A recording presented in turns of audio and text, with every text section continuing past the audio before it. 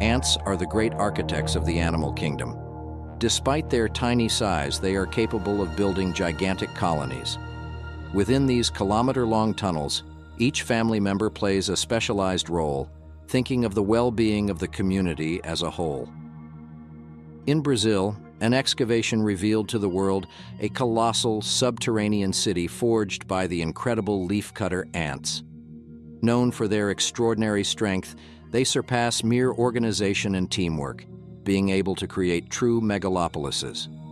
Earth Echoes delves into the earth to excavate the secret worlds of ants. Below our feet, these diminutive beings construct cities that defy the logic of human understanding. In every corner of the planet, from backyards to the most remote trails, ants make their presence known in nature. Their small and fragile structure doesn't immediately reveal the impressive capabilities of these insects. Ant hills are true living units, resembling a multicellular organism.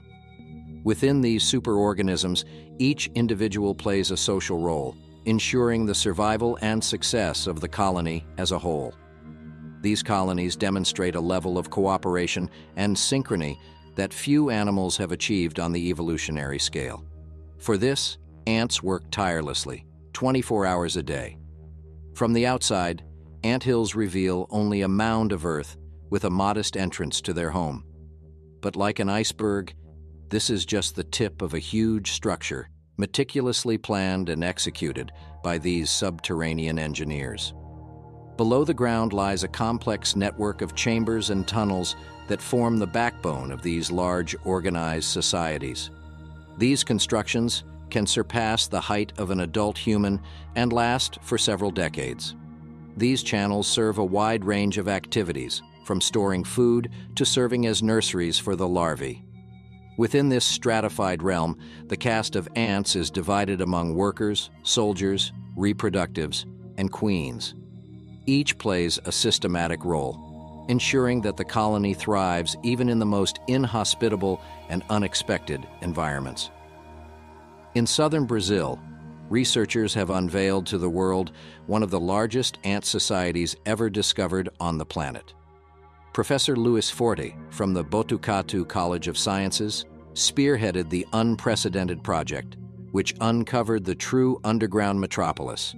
To achieve this, the team of biologists devised a plan to fill a deactivated ant hill with water mixed with cement.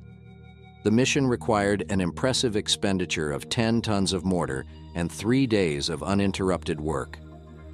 Subsequently, the biologists had to wait for 30 days, the necessary period for the concrete to dry completely. Only then could the project be resumed and the excavators swung into action on the ground. Gradually, the city of leafcutter ants was unveiled, the anthill boasted highways connecting chambers and secondary routes, which served as tributaries to the main tunnels. These tunnels are constructed to provide good ventilation and dynamic routes for circulation within this mega colony. Some of these pathways led to fungus gardens, while other routes emptied into depots, which functioned as trash bins. In the fungus gardens, the ants leave collected and chewed leaves, which serve as food for the fungi. As farmers, the ants cultivate the fungi. In return, the fungi produce the so-called fruiting bodies, which the ants consume as food.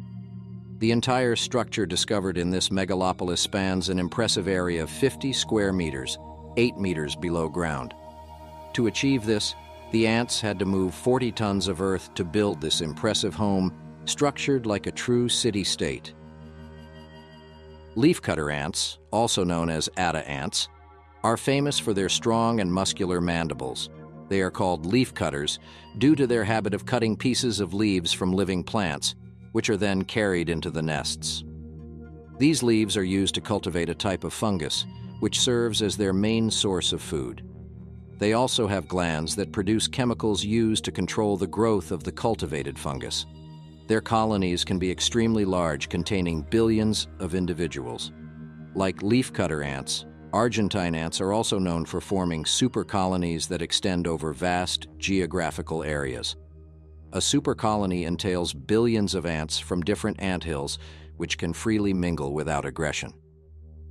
The species reached Europe via ships about 100 years ago and now constitute the largest known ant supercolony in the world. They stretch from northern Italy, through the southern coast of France, and the entire Mediterranean coast of Spain to Portugal. The discovery, spanning a distance of over 6,000 kilometers, is reported in the American journal Proceedings of the National Academy of Sciences. But not all species are friendly, and some impress with highly predatory and defensive behavior. The Dracula ant isn't named by chance. Imagine a bite with a speed of 320 kilometers per hour. Its attack is 5,000 times faster than the blink of a human eye and so swift that it can crush prey larger than the ant itself. This extraordinary insect, found in Southeast Asia and Oceania, uses its abrupt movement to kill arthropods, which serve as food for the larvae. But this isn't the only species noteworthy for its phenomenal bite. The bullet ant or huntress ant possesses one of the most painful bites in the animal kingdom. Some victims of this unpleasant encounter report that the pain is comparable to being shot, and the burning sensation can last up to 24 hours. Meanwhile, the sting of the jackjumper, also known as the jumping ant, can be fatal.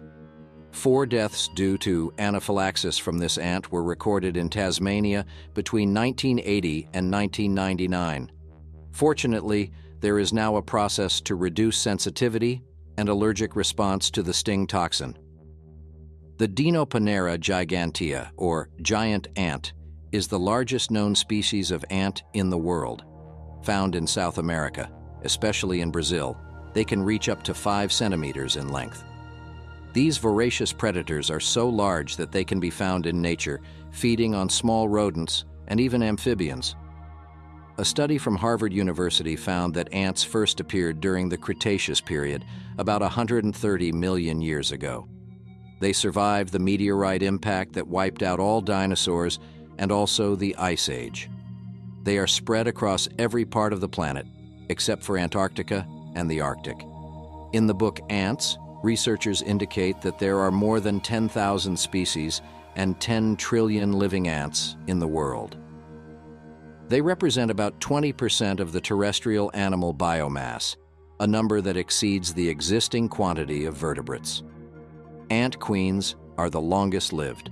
They can live up to 30 years, unlike workers who endure a maximum of three years of existence. Despite their tiny size, ants have two stomachs. One is used to store food for their own consumption, while the other holds food to be shared with their companions. Queens, for example, don't leave the ant hills. Workers are responsible for fetching and distributing food, ensuring the health of the entire society. From afar, they may seem fragile, but up close they can carry between 10 and 50 times their own body weight. All this strength results precisely from their smallness. Because of this, their muscles can concentrate a greater force relative to their own size. They don't have lungs and breathe through a series of holes located on the sides of their bodies. They also lack auditory canals, but can hear through special sensors on their feet, which pick up vibrations in the ground. Over millions of years, ants have evolved, developing unique characteristics and surviving the planet's diverse environmental changes. These and other adaptations make ants examples of biological and organizational efficiency continuing to astonish the scientific community. Earth Echoes returns from this fascinating journey into the subterranean world of ants, true examples of cooperation in society. They may be small in size, but they are giants for the balance of nature. If you enjoyed this content, type ants in the comments. Don't forget to like and share this knowledge. See you next time.